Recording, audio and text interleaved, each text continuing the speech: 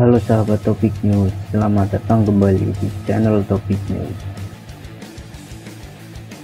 Seperti yang kita tahu, Laut Cina Selatan beberapa tahun terakhir menjadi sengketa banyak negara ASEAN dan Cina. Amerika Serikat yang memiliki banyak sekutu di ASEAN tentu tidak tinggal diam. Baru-baru ini, salah satu kapal perusak berpeluru kendali USS Russell milik Amerika Serikat baru saja menyelesaikan operasi kebebasan navigasi Freedom of Navigation di Laut Cina Selatan melalui Kepulauan Spratly pada Rabu 17 Februari 2021. Cina, Vietnam, Taiwan, Malaysia, Brunei, dan Filipina mengklaim semua atau sebagian kedaulatan Kepulauan Spratly. Khususnya Cina, Vietnam, dan Taiwan menuntut mereka yang melewati jalur tersebut untuk memberikan pemberitahuan sebelumnya. Namun, armada ketujuh Amerika Serikat menegaskan bahwa pemberitahuan atau persetujuan sebelumnya melanggar hukum internasional.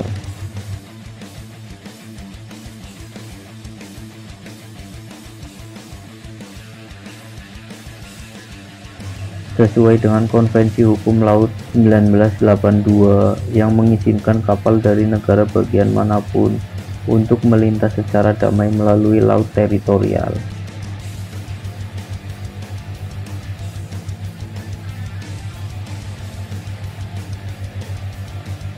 Klaim maritim yang melanggar hukum dan luas Laut Cina Selatan menimbulkan ancaman serius bagi kebebasan laut termasuk kebebasan navigasi dan penerbangan, perdagangan bebas, dan perdagangan tanpa hambatan, dan kebebasan peluang ekonomi bagi negara-negara pesisir Laut Cina Selatan, ujar armada ketujuh Amerika Serikat dalam rilis berita yang dilansir dari Navy Times.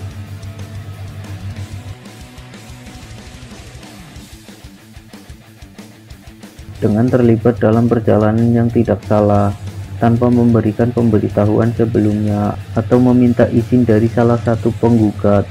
Amerika Serikat menentang pembatasan yang melanggar hukum yang diberlakukan oleh China, Taiwan, dan Vietnam.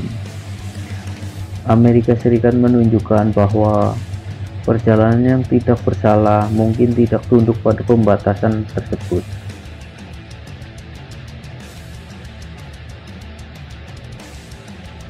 Kegiatan Vanop USS Russell dilakukan seminggu setelah kapal induk Theodore Roosevelt dan Nimitz menyelesaikan operasi kapal induk ganda di Laut Cina Selatan. Kegiatan tersebut merupakan operasi maskapai ganda pertama Amerika Serikat di wilayah tersebut sejak Juli 2020.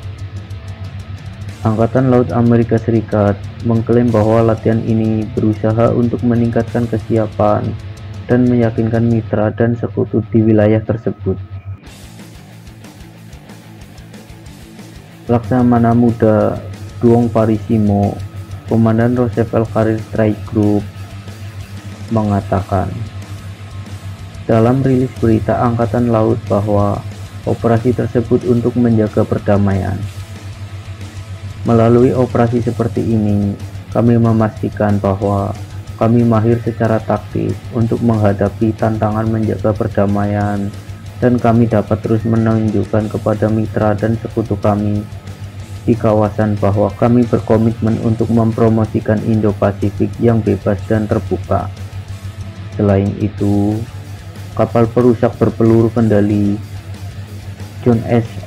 Chain juga sempat menuju lokasi tersebut melalui Selat Taiwan pada 4 Februari yang lalu. Jadi, bagaimana tanggapan kalian tentang hal ini?